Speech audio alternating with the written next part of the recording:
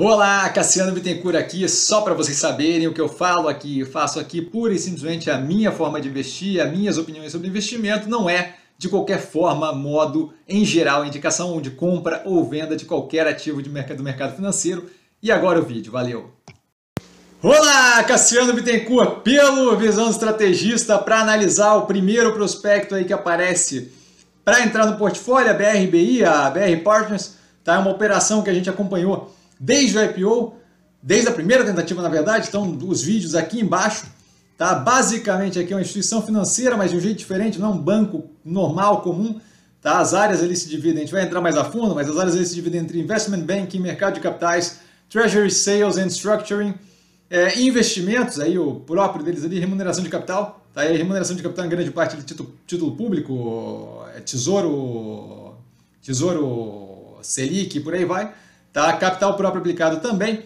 Tá? Eu vejo a operação e posicionamento da empresa de forma muito positiva. A análise estrutural foi feita no IPO aqui na descrição, lá de trás, e estruturalmente a ideia é a mesma, então aquilo ali está muito válido como pensamento de como é, que, como é que roda a operação.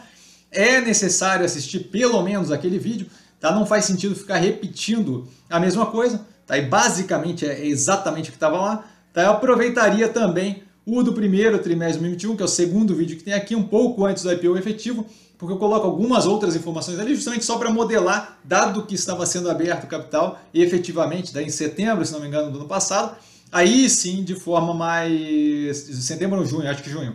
Aí sim de forma é, um pouco diferente, com algumas mudanças, estruturalmente é a mesma coisa. Tanto é que no vídeo passado lá eu, eu falo justamente para ver o vídeo do IPO. Então a gente vai direto ao due diligence, tá? que permite mostrar mais da operação, expandir um pouco aqui. A distribuição da receita total na tela mostra um aumento considerável na diversificação, que era justamente um dos pontos de se fazer o IPO. Tá? É muito positivo para a redução de concentração de risco. O setor de investment bank, por exemplo, está mais pressionado no período. O fato de eu ter uma diversificação maior faz com que o resultado como um todo não fique afetado por causa do setor de IB, que era bem relevante anteriormente, tá? de investment banking a gente tem aí a receita total crescendo 31% year on year, quando eu penso seis meses de 2022 versus seis meses de 2021, muito positivo, tá? Melhoria, especialmente nesse momento. Melhoria do rating recentemente mostra justamente a solidez da operação reconhecida por outra por, por agência de rating. Isso para ela é relevante, auxilia em funding, em capacidade de, de emissão de título e por aí vai.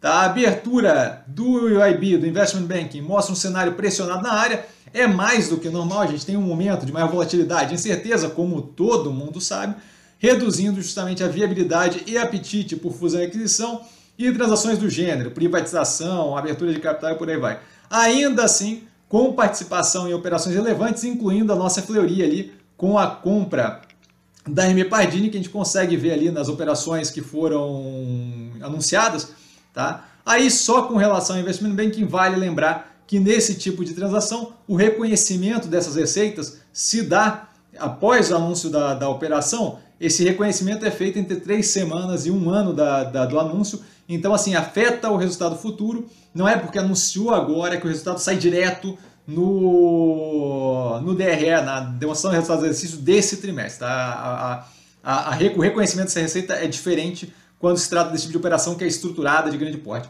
Mercado de capitais com forte aumento no volume de emissões, tá? year on year. Lembrando que isso daqui era um dos principais motivos da IPO, tá? reforçar a estrutura de capital da empresa, permitindo uma maior autonomia e operação nesse tipo de, de emissão, tá? especialmente de debênture e por aí vai. Essa diversificação é bem positiva, como a gente viu lá na fonte de receita, né?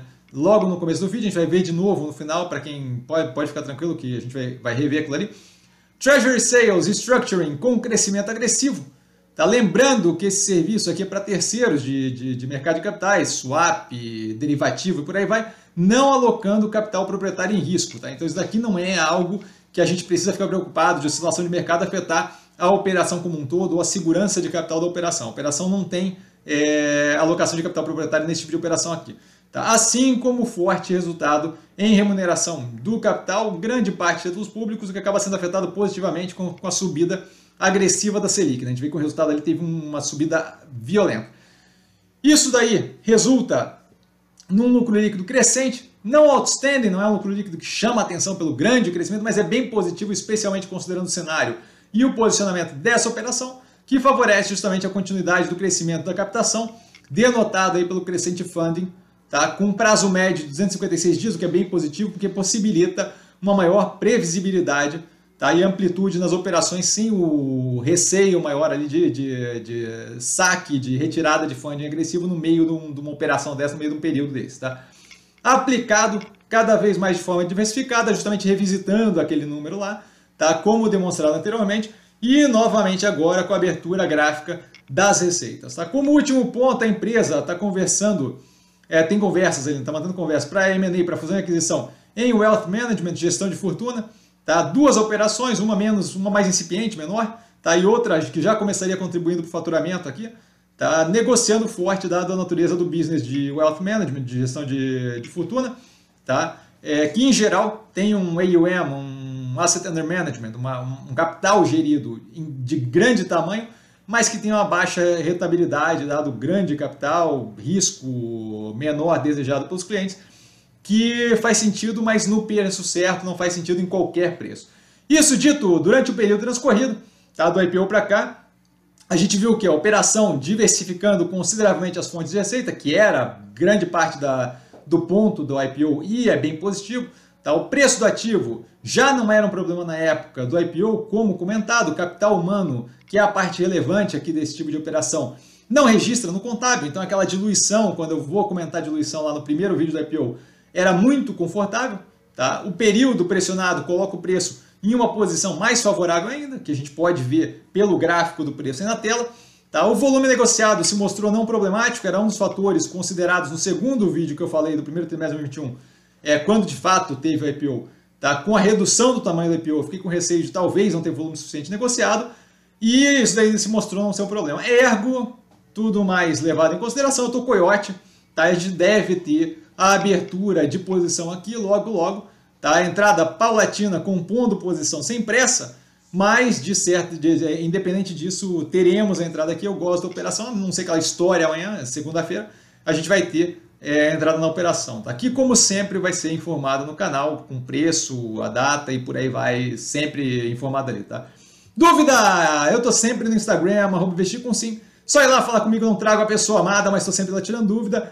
E vale lembrar que quem aprende a pensar bolsa opera com o maior detalhe. Um grande beijo a todo mundo e até amanhã com mais umas três análises e o movimento dessa semana. Valeu, galera. Beijão!